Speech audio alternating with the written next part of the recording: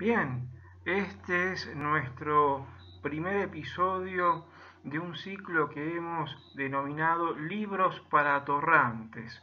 Esto es simplemente dar algunos apuntes eh, muy muy sintéticos sobre algunos libros que hicieron historia. En esta primera oportunidad vamos a comenzar con una excursión a los indios ranqueles de Lucio Victorio Mansilla, un libro publicado en 1870. Eh, el libro, Una excursión a los indios ranqueles, primero fue eh, impreso en un diario porteño, la, la Tribuna, en forma de cartas y luego fue editado en forma de libro convencional tal como lo, conocemos ahora.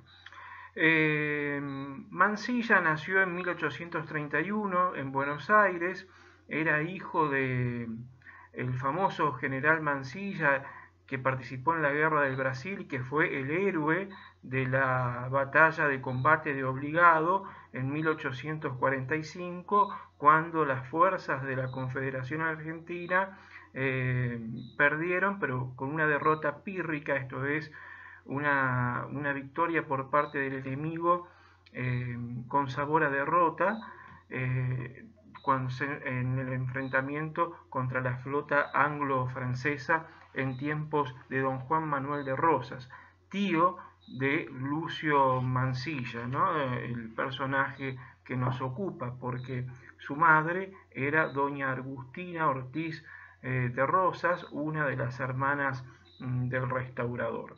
Es decir, Mansilla nace, se cría, se educa en un ambiente federal y allí va adquiriendo rasgos de una personalidad bastante extraña, extravagante, que em, podemos decir eh, era un adecuacionista entre el mundo gauchesco, rural, y el mundo del dantismo, el mundo de la extravagancia, de la sofisticación, de la generación del 80, en la que también perteneció.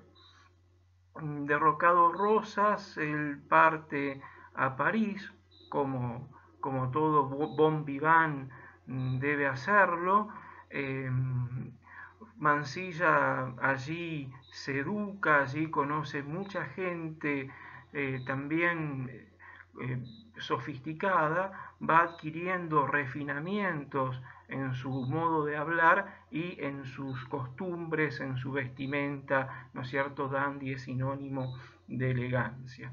Mansilla fue eh, uno de los primeros, creo que fue el primer argentino en visitar la India. El padre lo había enviado a comprar algunas cosas para los saladeros de la familia y él se gastó toda la guita en viajes, recorrió Asia, África, Europa, etc.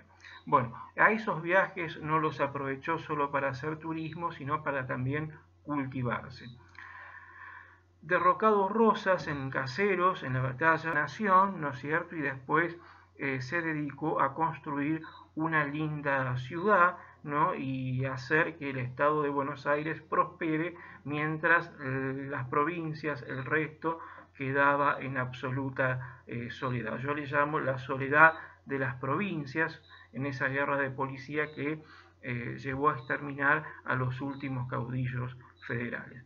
Bien, eh, Mansilla apoyó en 1868 la candidatura a presidente de Sarmiento, era amigo de Dominguito, el hijo de Sarmiento, habían peleado juntos en la guerra del, Paraguay, y Mansilla quería que lo nombraran este, ministro de guerra. Sarmiento no lo hizo, el, estilo rebelde, indisciplinado de Mansilla lo tenía ahí medio en duda si darle el cargo o no, no lo hizo. Y lo destinó al fuerte de Río Cuarto en el sur de la provincia de Córdoba.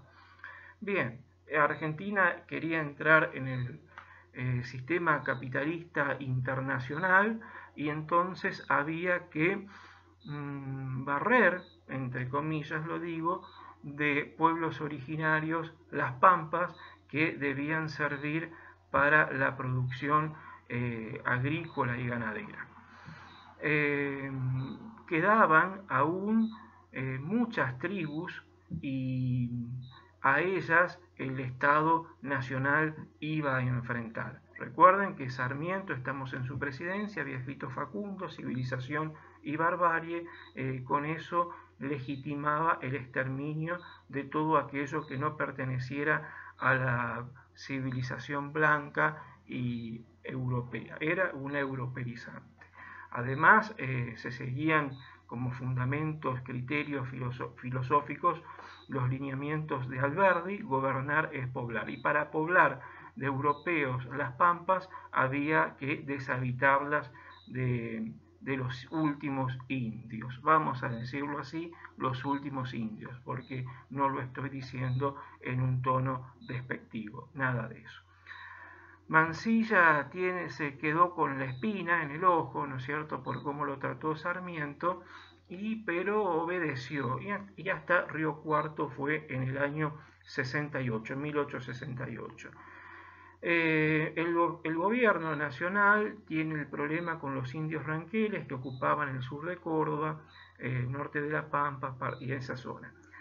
Entonces eh, a Mansilla se le ocurre, pero no le pide permiso al Estado Mayor, sino a superiores suyos de menor rango, hacer una excursión, una excursión a los indios eh, ranqueles y tratar de dialogar con ellos, aprender algo de sus costumbres. Y allí va con 20 hombres, una veintena, y muy desarmados encima, y dos de ellos eran eh, franciscanos. Recuerden que la constitución liberal mm, de 1853 em, garantizaba la libertad de cultos para que vinieran inmigrantes europeos protestantes, pero judíos, etc., pero al mismo tiempo eh, ordenaba al Estado Nacional, que estaba organizándose, a convertir a los indios al catolicismo. Bueno, parte entonces con 18 soldados, no muy bien entrenados, y dos eh, frailes eh, franciscanos. Basta las tolderías de los ranqueles y allí sí tiene contactos con el cacique Ranquel, que era Mariano Rosas, ¿no? ahijado de su tío, Juan Manuel de Rosas, que lo había bautizado con nombre cristiano y con el apellido, y este, cuando había entrado en cautiverio. Eh, los diálogos entre Mansilla dura menos de un mes la expedición, esto fue en marzo del 70, de 1870, y el libro, las apostillas, las cartas comienzan a publicarse en, el, en mayo de, ese año en la tribuna. Eh, es interesante los diálogos porque Mansilla convive con Mariano Rosas, con otros caciques menores, y allí va enterándose de cómo vivían y llega a la conclusión de que los indios se pueden incorporar a la civilización. En este sentido digo que Mansilla era un adecuacionista. Quizás la crianza en un hogar federal y el tener contacto estrecho con su tío, el restaurador, eh, hicieron de él, ¿no es cierto?, tener cierta comprensión, cierto entendimiento y llegada eh, natural con eh, estos pueblos que en la Argentina liberal de Mitre y de Sarmiento prácticamente sus vidas no valían absolutamente nada. Es cierto que Rosas había encarado eh, a principios de los años 30 una, una campaña al desierto, pero existían indios amigos, había contactos y había diálogos con los indios. Por ejemplo, el famoso cacique Catriel Carrozas lo llamaba hermano. Mansilla tiene todo este haber cultural en sus manos y entonces este, no le cuesta relacionarse con, los indios ranqueles. Él piensa que son eh, una derivación de los araucanos provenientes de Chile. Bueno, esto está en discusión. Los, los ranqueles quizá hayan pertenecido a la etnia pehuenche.